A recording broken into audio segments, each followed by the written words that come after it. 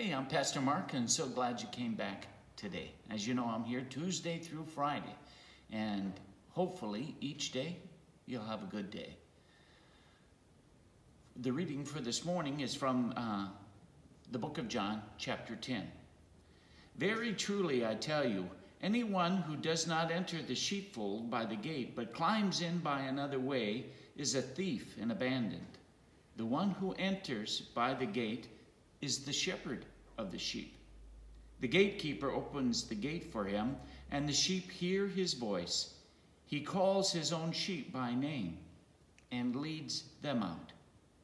When he has brought out all his own, he goes ahead of them, and the sheep follow him because they know his voice. They will not follow a stranger, but they will run from him because they do not know the voice of a stranger.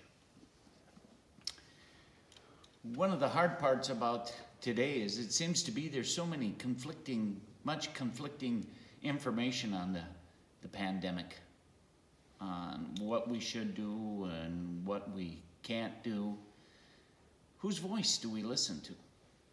There's different opinions in the press, on TV. We have so many voices coming at us. Whose voice do we follow? Well, how do we hear the voice of Christ? How do we hear that voice that uplifts and forgives and renews? All of us, not just some of us, but all of us. We do that by taking time for prayer, reading the scriptures, and then through prayer and reading, we're honing our heart.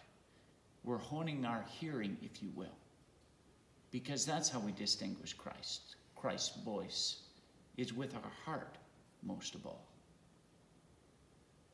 So we go about our daily lives. We pray, we read, we ponder, we listen with our hearts, and we will know which voice to follow. The one that loves and forgives and renews each and every day. The one who knows your name and calls you out so that you can follow through what comes, what may. The good, the difficult, the hopeful, the sad. We know that voice, and that voice knows you and loves you. Have a good weekend, everybody.